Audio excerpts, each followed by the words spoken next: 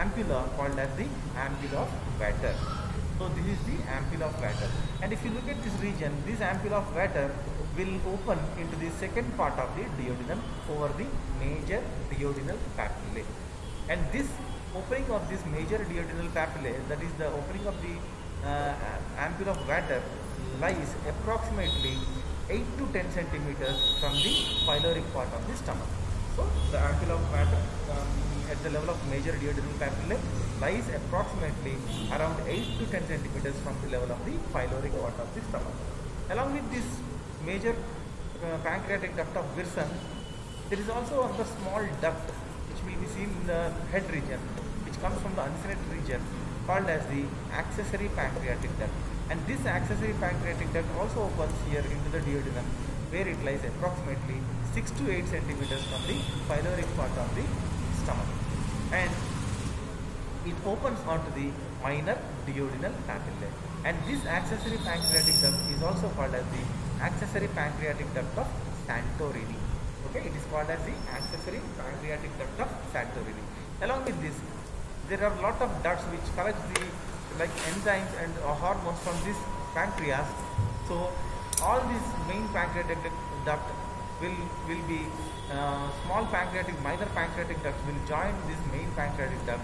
And as a result you can see a fish bone like appearance is seen here over the body of the pancreas. Hence it is called as the herringbone pattern okay? So it is called as the herringbone pattern this is all about the ducts of the pancreas. Now let us see coming to the blood supply of the pancreas so this blood supply of the pancreas, uh, just now I told you in this picture, right? It is related to the tail of the pancreas is related to the splenic artery and the lienorenal ligament, right? So now I am going to show you the same thing here. This is the celiac trunk, okay? Celiac trunk coming from the abdominal aorta directly, and this trunk, celiac trunk is giving a long artery which is passing along the superior border of the pancreas. It is passing along the superior border of the pancreas up to the tail of the pancreas, right? Hence, this artery, the called as splenic artery, is related to the anterior border of that superior border of the body of pancreas and also to the tail of the pancreas. So, but I just wanted to show you one thing. Why this? Uh, why I am see I am drawing all other arteries as a single line, right? But while drawing this splenic artery, I am making lot of kinks, right? It is kinking in nature. So why it is like having so many twists like like uh, uh, uh, curlings or kinking? Because this splenic artery is basically it is not a straight artery like this. Because it will be having lot of twists like this that is kinking will be there. And this kinking is will help in the movement of the will help in the movement of the spleen while jumping or diving or any other activities otherwise if this artery because spleen is a mobile organ as if you if, if, if you if the spleen is mobile organ when the spleen is mobile organ and if you keep uh, if you think that the artery is a only straight structure of exactly exact length between the celiac trunk and the spleen then once the spleen moves away then there will be the chances of rupture of the splenic artery. Hence that is the only reason why this is this splenic artery will be kinked in nature k i n k kinking. So that is the reason why it is kinking in nature in order to provide uh, mobility for the spleen. So this kind of kinking is very useful and sometimes when a person jumps from a height like or when he falls from a height or especially there was one case which I wanted to explain you like uh, near Medicity only. It was it has happened in uh, one resort so there were students who went to the resort and they were all celebrating.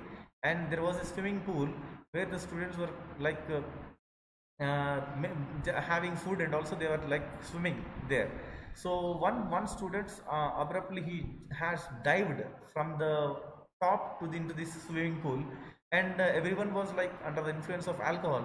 And no one was like caring about him because like everyone was like swimming and all these things so that person once he dived in, into that swimming pool he did not come back again to the top. Directly he went to the bottom and he was like just lying over the bottom of the swimming pool within the water and the person died in 15 minutes. So after 15 minutes when his friends have seen search started searching for him they have noticed that the person is lying dead within the at the bottom of the swimming pool in the water. So when the body has been sent for post-mortem, post-mortem, in the post-mortem, what happens is like when he was diving, when he dived from the top of the swimming pool into the water, there was a sudden impact of this water, that is the body over the surface of the water at the region of the left side of the abdomen. As a result, this splenic artery went into severe like uh, uh, torsion where due to that uh, severe st- severe stretching force what happened is like this splenic artery got ruptured from the spleen. As a result there was a heavy internal abdominal bleed which led to the death of the person within 5 minutes. So this is the importance of this splenic artery. Now let us see now let us go further. So this is the splenic artery which is related to the superior border of the body of the pancreas and also to the tail of the pancreas. And this is the celiac trunk. And of course this celiac trunk also gives important branch called as the common hepatic artery so from the common hepatic artery you can also see one important artery coming down here towards the duodenum of the uh, small intestine called as the gastroduodenal artery. This is the gastroduodenal artery. So there is one important branch from the gastroduodenal artery called as the superior pancreaticoduodenal artery. So now you can understand that the superior pancreaticoduodenal artery is a branch of the gastroduodenal artery which is coming from the common hepatic artery. And also, as you know very well here, there are two important uh, vessels which are related to the head and also the uncinate process of the pancreas called as the superior mesenteric artery and the superior mesenteric vein. So now the superior pancreaticoduodenal artery which is coming from the gastroduodenal artery covers the right border, upper right border of the head of the pancreas. Now coming to the lower and the right border of the lower part of the head of the pancreas, it is being supplied by the inferior pancreaticoduodenal artery. So this is the superior pancreatic pancreaticoduodenal artery and the inferior pancreatic pancreaticoduodenal artery.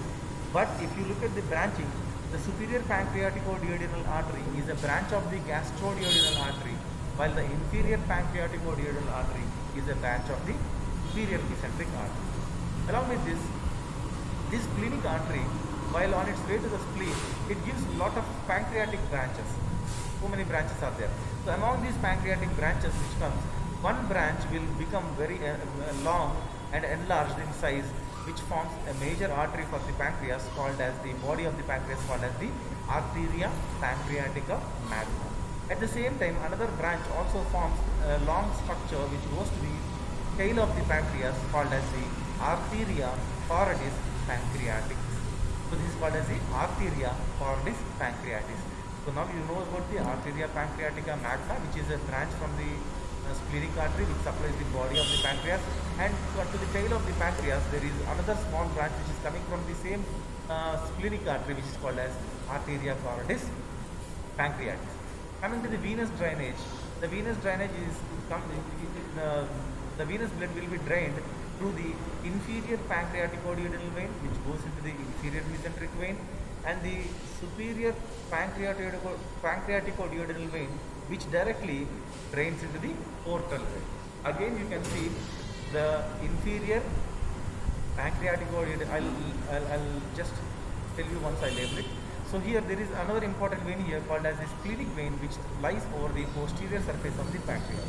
So the venous drainage from the body and tail of the pancreas will go, all these venules or small veins will drain into the splenic vein.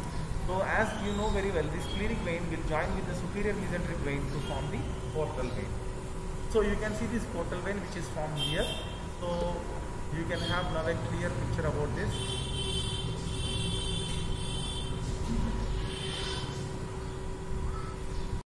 Yeah, let me stop here.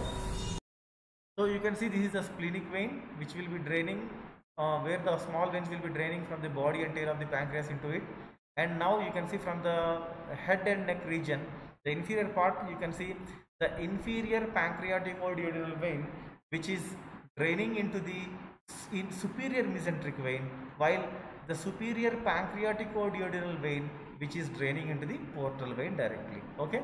So in this way the venous drainage of the pancreas will be taking place. Along with this now I also wanted to keep small points over the lymphatic drainage of the pancreas. There are only three groups of lymph nodes which will be draining the complete pancreas. One group of lymph nodes which are there at the tail of the pancreas called as the pancreaticosplenic group of lymph nodes. These are called as the pancreaticosplenic group of lymph nodes. And also there are another group of lymph nodes which are located at the level of the superior mesenteric artery and vein called as the superior mesenteric group of lymph nodes. And of course this is a celiac trunk and I have been explaining you since long back uh, since the time of stomach also when I have taken the stomach. So this is nothing but the celiac group of lymph nodes. In this way, all the lymph will be drained into this surrounding three groups of lymph nodes. And also the uh, sympathetic and parasympathetic supply for the nerve supply for the pancreas comes from the celiac plexus. So this is all about the gross anatomy of the pancreas. Thank you.